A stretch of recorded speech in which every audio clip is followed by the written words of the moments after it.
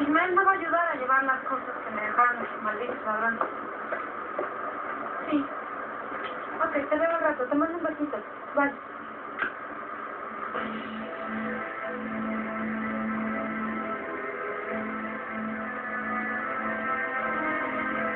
Y esto es solo el principio, Paulita. ¿Crees que me voy a quedar sin? Yo no soy tan tonto como Germán.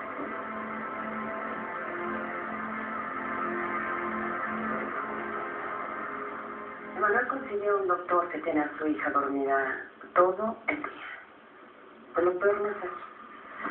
Sonia me comentó que ella y su hija eran muy unidas y que Manuel nunca se interesó mucho por conocer a su hija. Hay muchos hombres que suponen que solo la madre debe hacerse responsable de los hijos.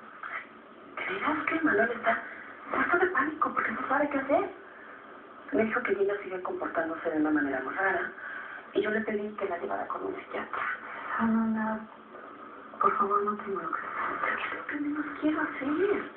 Yo soy la hermana de Betty, Vanessa. Su mamá se murió, me necesita. Vez te suene cruel, pero no es tu hija.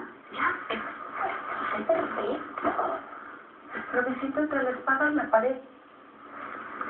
¿Por qué hay algo más? Emanuel está obsesionado con volver conmigo. No, no, Fernando, no. Mucho menos ahora. No, Vanessa, yo sé que eso es imposible. No voy a ceder. Él ha estado llamándome desde que salí de su casa. Porque aparece nomás. No quiero verlo, pero tampoco puedo abandonar a Gina. ¿Quieres tú? Me esperas un momento en lo que la tienda. claro. Hay que hacer ese Por favor, límpiate. Claro.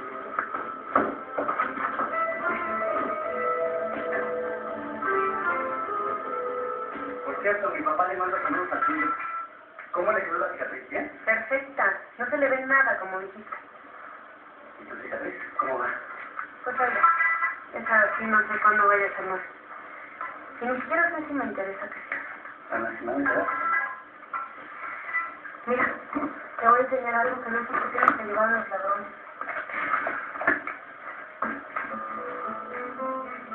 No sé si no lo vieron. O a lo mejor no se lo llevaron porque está maldito. Sobrina, no te hagas ideas. Ya decidí lo que voy a hacer con él. Pero voy a volver a su verdadera voz. ¿Qué? Porque a Carlota, ese día lo pagó. Sin querer, pero no lo pagó.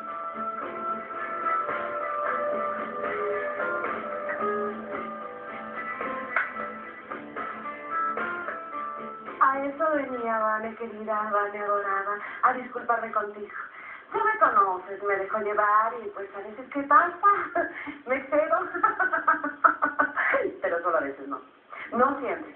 Porque tampoco es cosa de abusar y mucho menos de una amiga tan querida así como tú. Gracias, Celia, pero no me queda claro de qué te quieres disculpar conmigo. ¡Ay! ¡Ay! ¡Ay! Pues de la vez pasada que me puse a criticar a dos de tus muchachas, no debo hacer eso. Delia. Ay, Delia, no debes. Sobre todo porque ya había quedado en que te iba a dejar trabajar en paz. Pero pues ya me conoces. Soy caprichosa. Así me educaron mis papás, pues ¿qué le vamos a hacer? ¿Y sabes por qué quise darte la disculpa? Porque a mí me impresiona muchísimo la muerte, vieja. Mucho. No tienes una idea.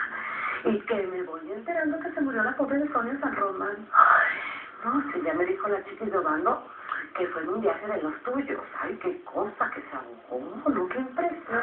Tú te imaginas el sustazo que se deben haber llevado todas tus muchachas. Prefiero no hacer comentarios. Claro. No, y haces muy bien, fíjate, porque a los muertos sí hay que dejarlos en paz. Así decía mi mamá, que en paz descanse. Pero yo no tenía otra cosa. ¿Tú te acuerdas que yo me molesté bastante cuando supe que mi Betito andaba disque rondando a una de tus empleadas? Yo no he cambiado de opinión de ella. No, bueno, yo sí. A eso vine. Ah, ya me acordé. ¿Sabes qué pensé? Pues vas a saber, ¿verdad? Bueno, te lo voy a decir. Yo no puedo rechazar a la gente nada más porque sí. Y si a mi Betito pues le gusta esta muchacha, pues mejor la voy conociendo, pues para ver de quién se trata, ¿no? En una de esas hasta me cae bien. Bueno, no. Claro, que es en serio. ¿Y sabes qué se me ocurrió? Ay, ¿cómo vas a saber? Invitarlo a cenar a la casa. Pues yo con mucho gusto le diré que viniera para que la invitación porque acaba de ir. Ay, qué fea, ya se fue.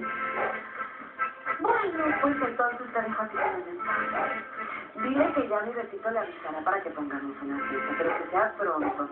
Y ya me voy. Y como siempre, un placer hablar contigo. Me encanta que siempre dices cosas bien interesantes. Hasta la vista, madre preciosa. Te cuidas.